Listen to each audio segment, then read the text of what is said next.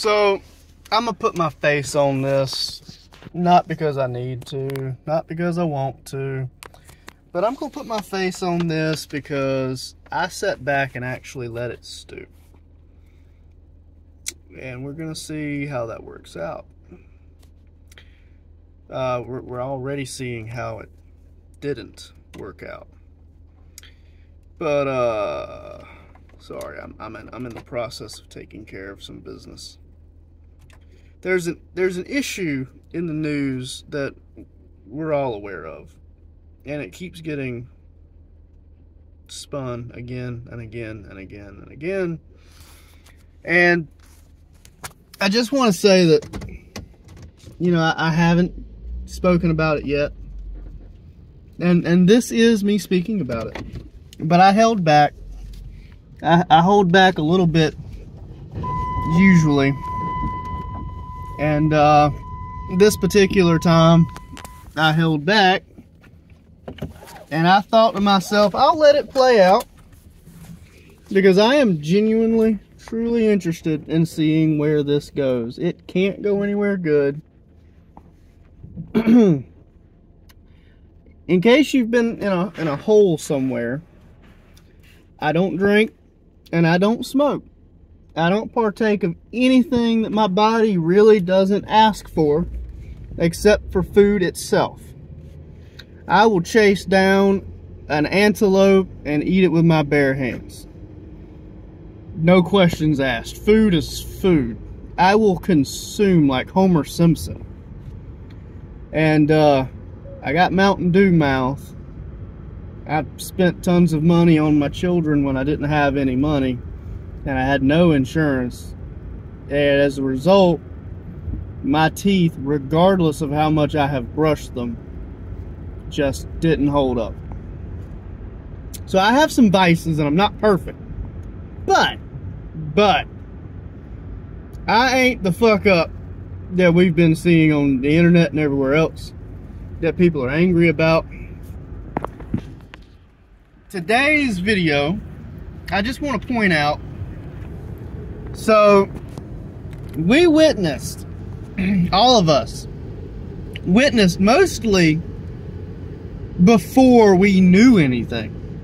We saw Kid Rock shoot a bunch of beer cans. They were Budweiser, and he made it very clear that's how he felt about Budweiser. Now, being that I don't drink, being that I don't smoke, I don't hang out in those parties. I don't go to those clubs. I don't communicate with people who do that on a daily basis. It didn't come up for me for like six more hours. And then it was an apocalypse of everyone with an opinion one way or the other. Now, here's the thing alcohol has never mixed with politics. Alcohol does not mix with politics, and alcohol never will mix with politics. Okay? alcohol should have been neutral, stayed neutral, and always have been neutral. But it didn't. And it's not all of alcohol. It's one parent company forcing it on their their cans. Budweiser put Dylan Mulvaney, the man who transitioned and became a trans woman, on their can.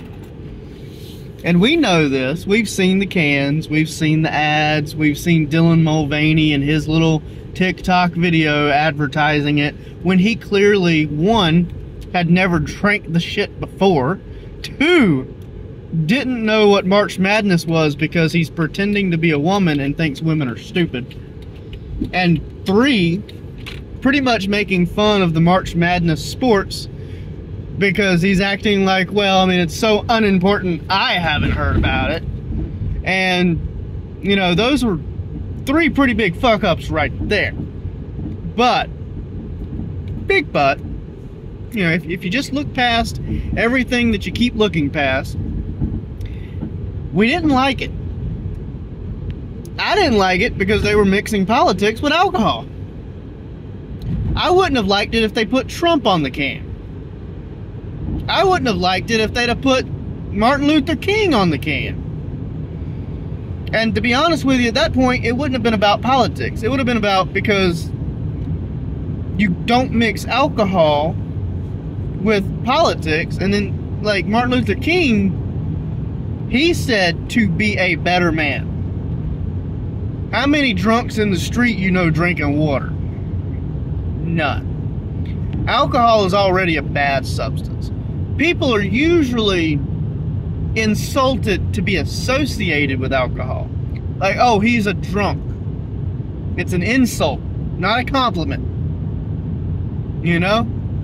That guy has drunk more beers in a weekend than he has seen his children ever. Pretty big insult. I mean, you should see your children hundreds of times a day as they run in and out of their bedrooms, going to school, coming home, in and out of bathrooms, kitchen table, dinner table, kissing them before bed, yada yada, yada yada, yada yada. Anywho, alcohol is bad, and you shouldn't mix politics with it. But we did anyway, and we went in a direction that the Budweiser drinkers didn't like.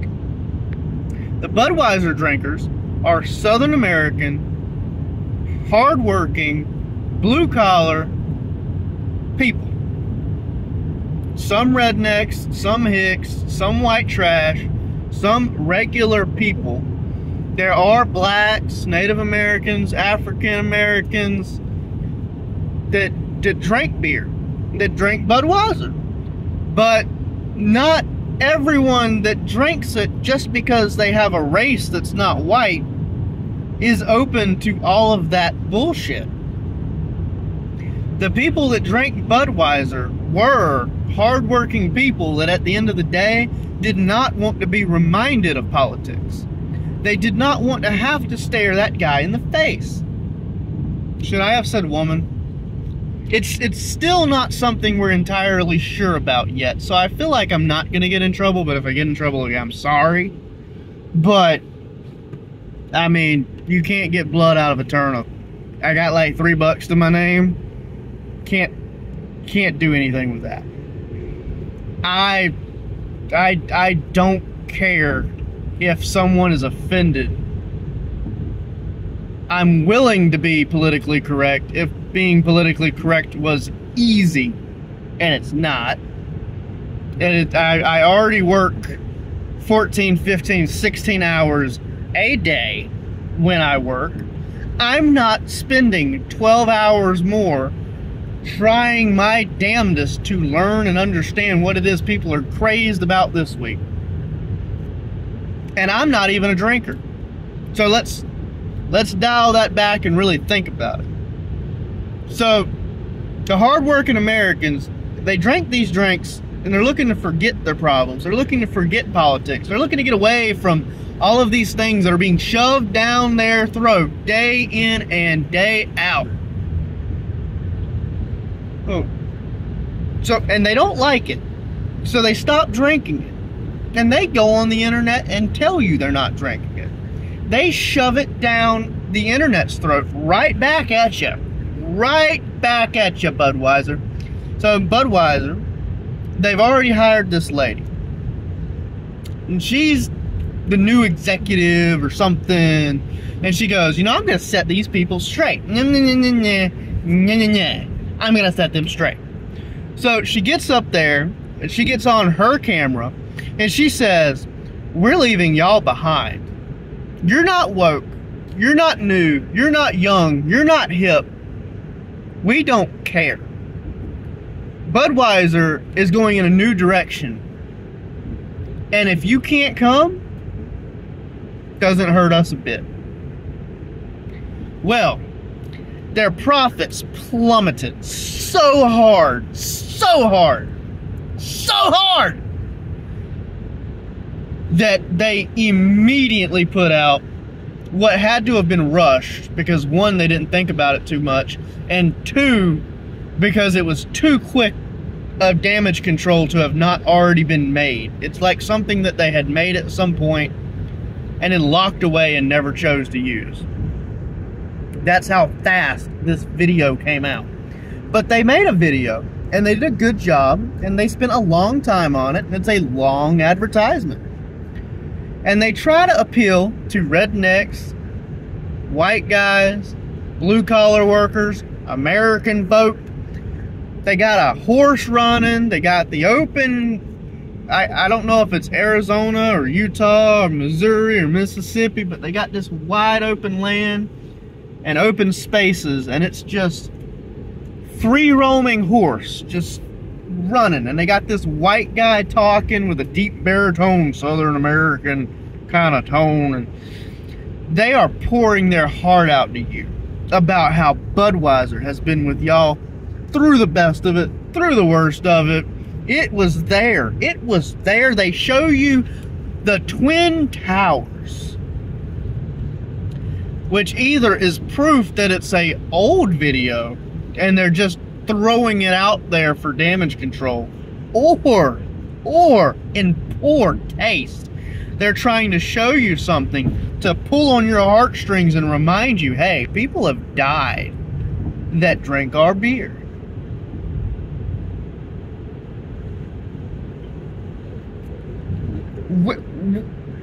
you know, we keep crossing lines that we shouldn't be crossing, and at some point, you just have to shrug your shoulders, put your head down, and go, you know what? Y'all were right. Y'all who did not want to drink this can because there was politics on it were correct. Dylan Mulvaney should not have been on our can. And I, the lady who got up and said we didn't need you, was wrong. We were wrong. I am wrong. We're sorry. And of course, they wouldn't have gotten everybody back. It is too late now to get anybody back. But they should have done that because that's the right thing to do. And of course, America is not about doing the right thing anymore. It's about making sure you're more hardcore woke than the last person. Some people are going to be so fucking woke they would kill someone for having a red hat that doesn't even say MAGA because it's similar enough. I'm getting very tired of it. Very, very, very tired of how some people can do this, but other people can't do this. Some people can do that, but other people can't do that. And at the end of the day, what you what you get is a list of people who are allowed to do really horrible things and people who are not allowed to be doing really horrible things. And my proof, I will cut into my hero, my friend, my my uh, a fan of mine. I mean, let me let me explain this. The greatest president that I've ever seen was not Donald Trump. It was probably Richard Nixon. But if we say nowadays, last my lifetime, greatest president ever, it was Trump. Trump, the the pedestal that I put him on for, for using the words that he's used, the predictions that he's made, the statements that he's made, the actions he has taken.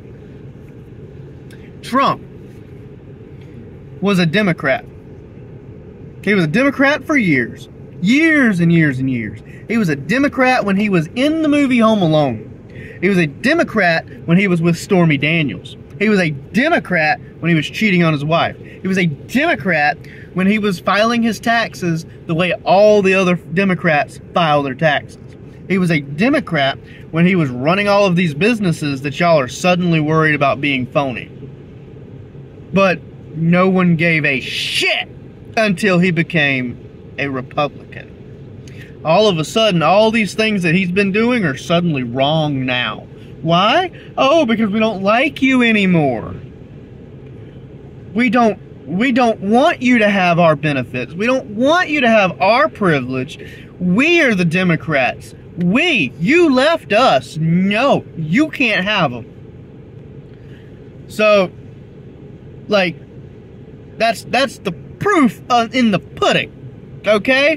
But, but, so now Budweiser can offend all of its current customers piss in your faces, tell you to fuck off, they're leaving you behind. And they think you're so stupid that if they show you 9 11 and put the word Bush behind it, that you're gonna go drink a fucking Bud Light all over again like it was nothing. You should be pissed. Really, truly pissed. How stupid do they think you are? I mean, I don't drink beer, and I'm glad I don't drink beer. But I would be very fucking offended if people thought that I'm dumb enough, drunk enough, stupid enough, retarded enough, special needs to the point that I didn't know any better. That someone could just go, oh, look at the little idiot, and punch me in the face, and then go, shut up and give me your lunch money. No, no, no, no. You don't get both. You don't get both, bud. So, they expect you to suddenly start giving them money again and drinking their piss water. Why? I already said, because you're stupid. Yeah, yeah. And meanwhile, Dylan Mulvaney has not set up an apology or anything else either. He doesn't feel like he's done anything wrong. And, you know, at first glance, you would think that he really hasn't, but he also participated in this because he gave them the rights to use his image. So, by doing this, Dylan Mulvaney shoved politics onto a can.